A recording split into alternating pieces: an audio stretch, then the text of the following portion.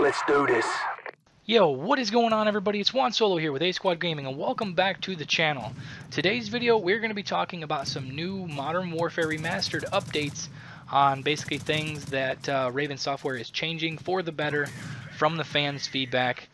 And uh, all in all, I'm just so pumped that these guys are listening to the fan feedback and you know we're getting that hashtag make COD great again. But uh, earlier today on Wendell Wobble's Twitter, as you guys will see by this image popping up on screen here, he announced that the multiplayer announcers from the original Call of Duty 4 will now be in Modern Warfare Remastered. And that's one thing that I have been asking for so much over the last few weeks is to get the original casters, you know, the guys, like I said at the very start of the video, you guys heard uh, Gaz say, let's do this.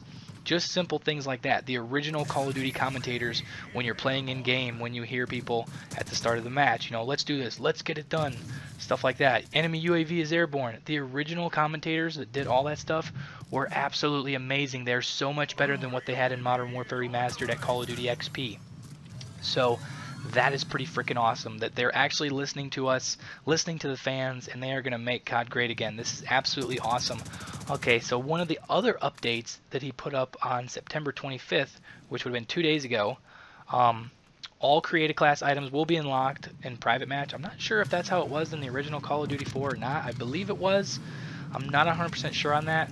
But uh, a couple days before that, he did announce that all the playlists from the original Call of Duty 4 will be in Modern Warfare Remastered, plus additional ones. So you get those hardcore COD 4 fans that want the game exactly the same. All the game modes from Call of Duty 4, like Headquarters. Headquarters isn't even a game type anymore. Um, you know, you're going to have your mercenary mosh, or not mosh pit, uh, mercenary team deathmatch. You're going to have cage match. You're going to have hardcore. You're going to have old school mode, where basically you had to run around and pick up perks and pick up weapons off the ground. Like that was straight up Call of Duty 4. It never made it past that. You know, we get the original Call of Duty 4 game modes, and then by saying that there's going to be plus additional ones, so we're probably going to be seeing like a modern playlist. So you're going to probably see some sort of a kill confirmed. You're going to see infected. You might see some party games. You know, maybe like a one in the chamber style thing. You know, you never know. Um, that'd be cool if they pulled some of that stuff and made it uh, so you had a lot of basically the most game modes out of any Call of Duty. You know, pull some from Treyarch, pull some from Infinity Ward and stuff like that. Probably we, we probably will see Hardpoint just because Hardpoint is a big thing nowadays, and uh, it's it's one of the biggest game modes that anybody plays nowadays. So and then the last thing is strafe jumping. So back in the day, you couldn't jump over an object unless you were basically running towards it, like it's in front of you. And then in Modern Warfare, excuse me, not Modern Warfare 3, Black Ops 3, they made it so that you could basically jump over obstacles if you jump, use the jump button while you were strafing. They are going to put that in Call of Duty 4 Remastered, which honestly, I'm not complaining about that. That is actually one of the core movement features of nowadays that just makes it so you can move around the map a little bit easier, and I'm really excited to see that in Modern Warfare Remastered. It should make, you know, moving around the map a little bit easier, especially because the fact you can't jump over things like you can in Black Ops 3. You have to just mantle over objects, and it is a slow process, and being the fact that you could be engaging in a gunfight, and while you're strafing, you can jump up over an object, that'll make it really convenient, and it'll probably help out a lot of gunfights and stuff like that. But, uh, that is pretty much it for this video, guys. I just wanted to update you guys on some of the awesome Call of Duty news that came out over the last few days about Modern Warfare Remastered.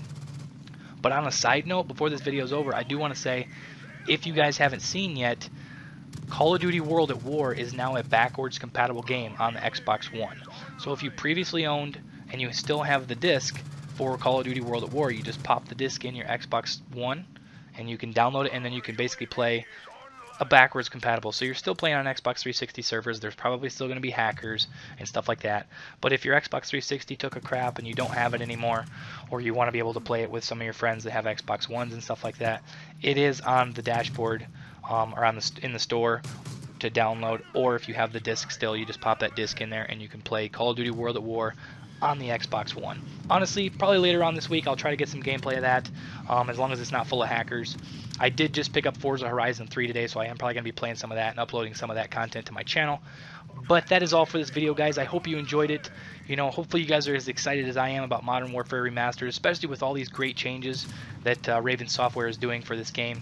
I am super, super pumped for this for this game. It's going to be so exciting.